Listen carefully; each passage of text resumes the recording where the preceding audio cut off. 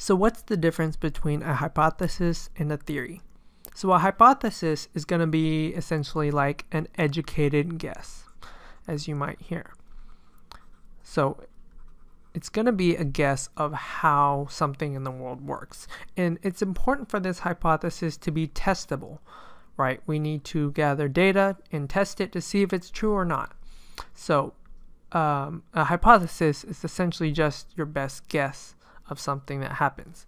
Now, a theory is going to be a little bit different. It's basically a hypothesis,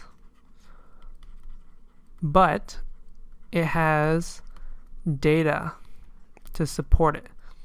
So it has lots of data to support this explanation of a phenomenon in, in the world and science. And it's widely accepted to be true in the scientific community. And some well known examples of this might include Einstein's theory of relativity, or we have the Big Bang theory, right? So these theories have lots of data to support their proposal or explanation or their hypothesis. So a theory is just going to be essentially a hypothesis with data.